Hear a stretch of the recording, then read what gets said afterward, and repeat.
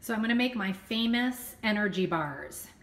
And you can fluctuate with the different ingredients that you use. I have parchment paper with, uh, it's got the um, pan underneath it, just a large pan. Put the parchment paper on, got my large bowl.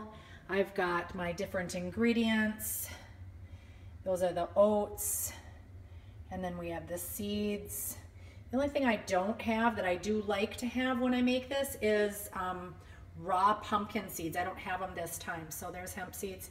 This is almond butter, and I freshly ground it at the uh, store.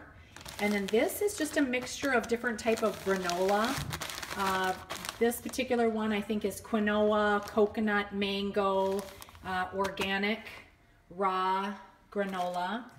And then I've got the Celtic salt. I'm gonna try something new with some apple pecan butter as well.